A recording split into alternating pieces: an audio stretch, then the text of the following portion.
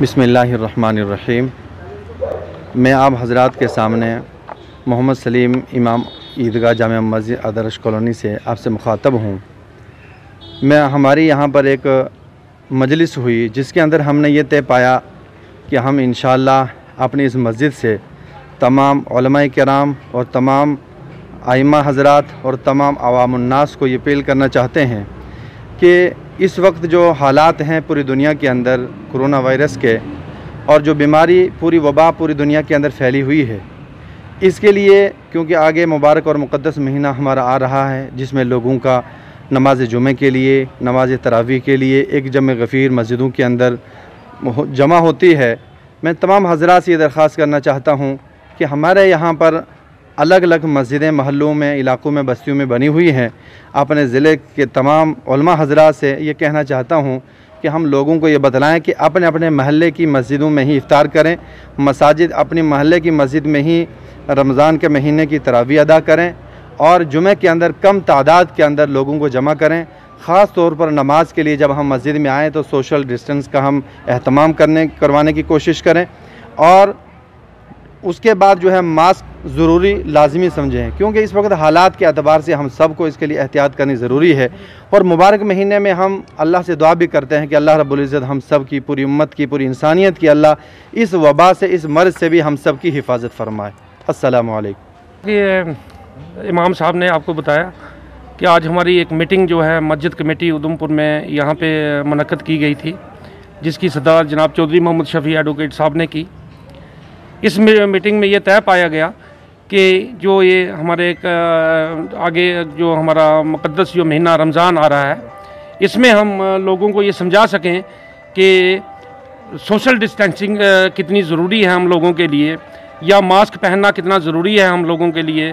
اور میں یہ اپیل بھی کرنا چاہوں گا سبھی اپنے مسلم برادری کے لوگوں سے کہ کم سے کم لوگ جو ہیں وہ شہر کا رخ کریں، اپنی محلہ مسجد ہوتی ہے، وہاں پہ وہ ادا کر سکتے ہیں۔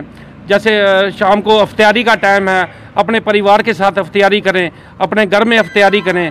اور کم سے کم جو بھیڑ جو ہے مسجدوں میں اکٹھی ہو، تاکہ ہم اس بوا سے، اس بیماری سے جو ہے، ہم بچیں، بچے نجات پا سکیں۔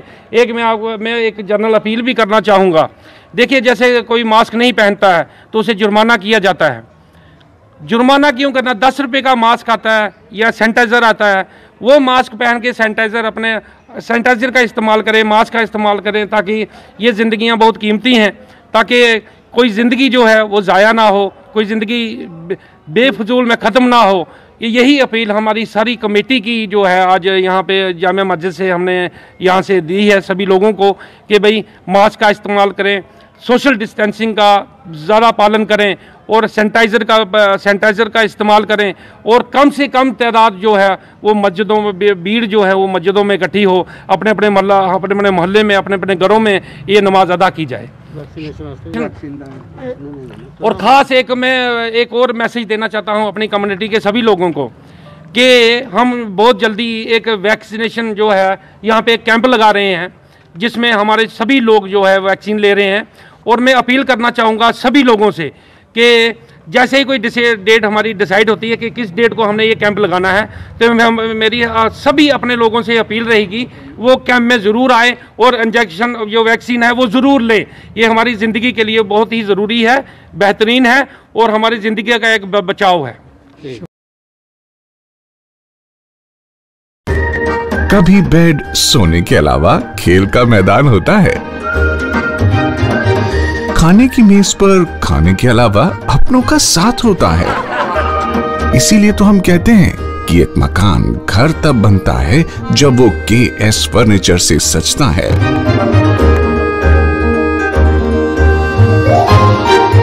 رشتوں کی مٹھاس کا احساس کے ایس فرنیچر کے ساتھ۔